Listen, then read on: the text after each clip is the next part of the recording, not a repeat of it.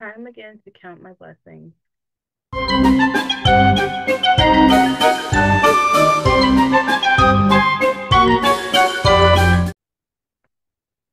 So I am not gonna make this long, um, but um, my it's it's the holiday season as they call it. Um, whatever it is that you may celebrate. Um, this is a really tough time of year for a lot of people, and it breaks my heart. Like I feel like this time of the year should be the one time of year where um not necessarily that people need to be happy, but like this is the one time of year where I feel like all of the crap that you deal with all year should be lessened.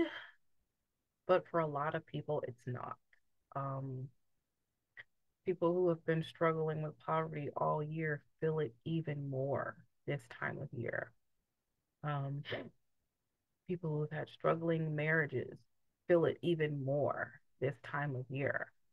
Um, someone who's been getting by, you know, with their car that hasn't broke down yet, the harsh weather and the bad roads and things like that, it just makes that challenge even harder this time of year because this is the probably the time of year where all that accumulation will come together and that car will stop working or be injured or crash or so I don't know. It's just like all of the things that you deal with throughout the year culminate and ex- become exponential this time of the year, the one time of the year where it should actually be lessened for people should be helping more and being more open and being willing to let things go. But that's just not how it is. And i'm not pointing the finger because i'm right there dealing with my own things and trying really hard not to hold grudges. But it's it's hard not to hold grudges especially when you've been hurt when you feel like things are against you but i'm counting my blessings because despite all of that I have a choice. I don't always have the best choices. I wish I had more choices, but I still have a choice. And so I am choosing to let go of some things and choosing to, in some cases, be the better person. In some cases, I I am still struggling with that. I'm not the better person, but I'm trying. Um, but ultimately, I am looking forward to an opportunity to not be selfish. Um, I'm so excited that my family is doing um, a single like adult gift exchange this year to where we're not buying gifts for everybody. You just pick a name and you buy something for that person. Personally, I would be okay with getting rid of the gift exchange altogether because it looks like we're just exchanging gift cards. I don't know what that's about. But my point is, we're doing that because we understand that there's so much more we could be doing with our blessings.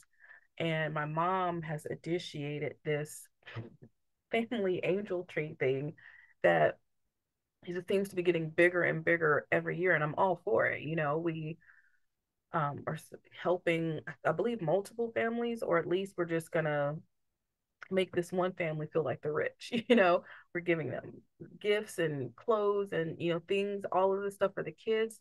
But my mom always takes it like an extra step and does something for the parent, you know. So I am so excited that we've done this in the past and that we're continuing to do it moving forward. And um, like I said, I'm just really excited about this kind of chance to just, you know, not be selfish for once. I don't feel like I'm an overly selfish person, but honestly, if you live in the United States, a lot of your existence is, is materialism, even if even if it's not intentional, you know. Um, we get upset when the clothes that we want aren't at the price that we want them to be because we expect things to be the way we want them to be.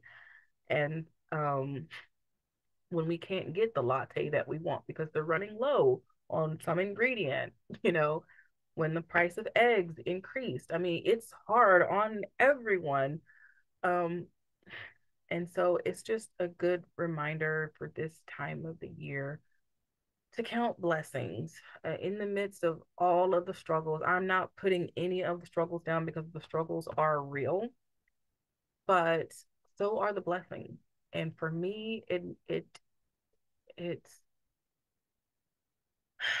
it's more important for me to dwell on the blessings than let the struggles get me down. And that is what I'm counting today.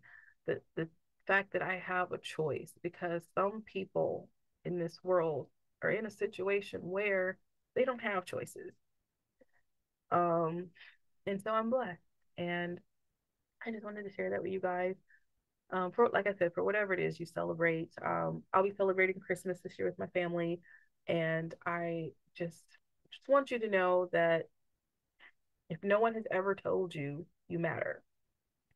And I'm not saying that in like a facetious way because, you know, this time of year, a lot of people are dealing with, you know, suicidal thoughts. And I'm not going to be one of those people who's like, I don't understand how someone could ever, you know, think that way because I do understand how people can think that way, especially when they have an existence where they feel like they don't have choices. So, because I recognize that I have choices, I am counting my blessings and I'm praying for all the people out there who feel like they don't have choices. So, as usual, guys, stay safe and be blessed.